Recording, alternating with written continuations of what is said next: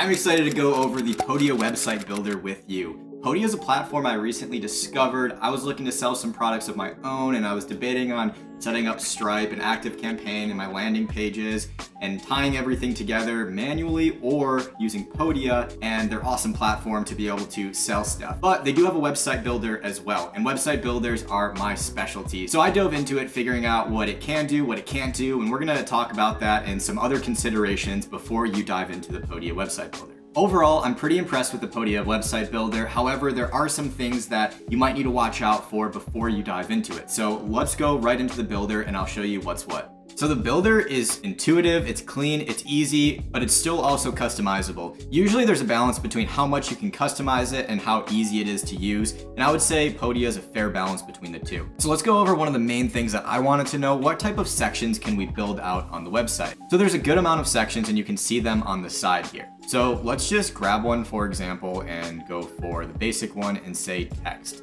Now, this is what you're able to do that everything is kind of like pre-made so you have the fields to fill out the title or the the pre-title or the subtitle but you don't really add extra stuff to it and that's a big differentiation between this platform and some other ones where you might say I want to add an additional title to here or split this up into two columns it doesn't work like that it says this is the section that you have here are the fields available in it and then we'll look at the design in a second too so it's really easy and, and, they advertise that you can build websites in 10 minutes and start selling your products. And it's true. You can build actually a pretty nice website very quickly, but you don't have all of the fine tuning available. But that's usually a good thing. You don't want to spend too much time fine tuning all this stuff because at the end of the day, you need to sell products and you don't need to have all of the bells and whistles to do so. Let's jump over to the design tab because this is like one of my favorite places to go to see what you can actually do. So first of all, they just have a bunch of like pre-made stuff. Like you want it to be centered or left, or you can put it into a card format.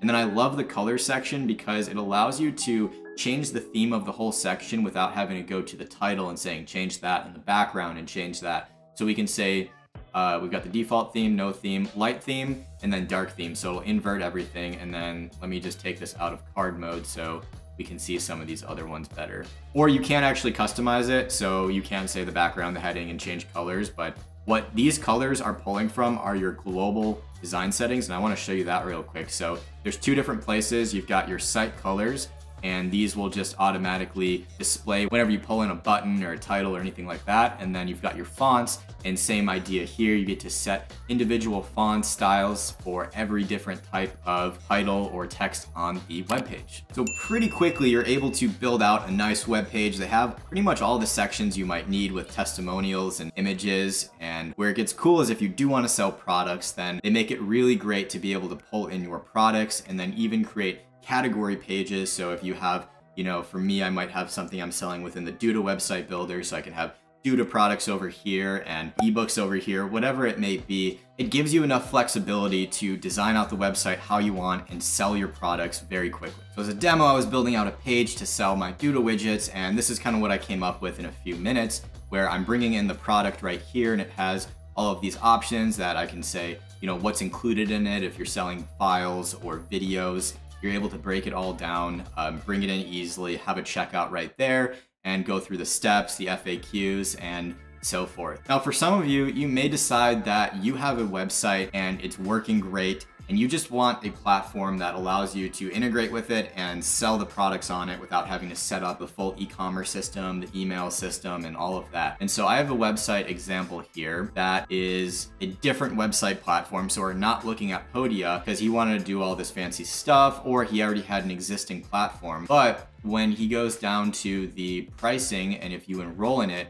it brings up an embedded checkout form. And so this is actually Podia now that we're looking at. And so you're kind of getting the best of both worlds. This feature is only available on their Shaker plan though. The website's available on all tiers by the way, but on the free tier you have to host it on the Podia subdomain. Once you go to a paid tier, you're able to have your own domain. Now there is something I want to bring your attention to. In my opinion, it's not a deal breaker, but it's something worth noting. So I often go over this chart on the channel, which pulls in real world websites and their core web vital stats which are the stats that Google uses in order to measure how performant the websites are. Are they fast? You know, do they shift around a lot when the web page loads? And so I'm just pulling in some various platforms I sometimes talk about, like WordPress, Squarespace, Duda, Podia. And unfortunately, Podia is the lower one on the chart, and the lower it is, the slower it essentially is gonna be. So I pulled up some real world examples to test this myself, and I ran the Lighthouse tests to see how well they performed. And so across the board, we are seeing they're a little bit on the lower side, mostly in the 70s.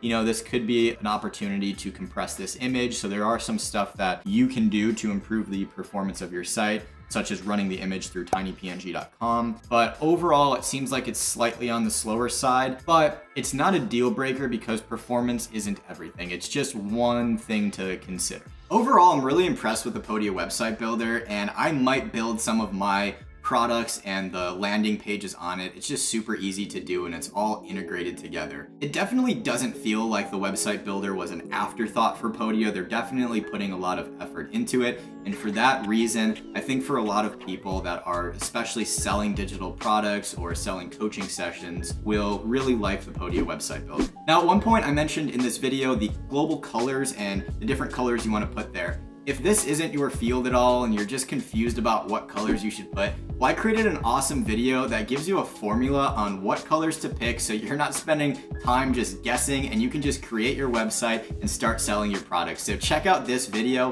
where I go over awesome color hacks.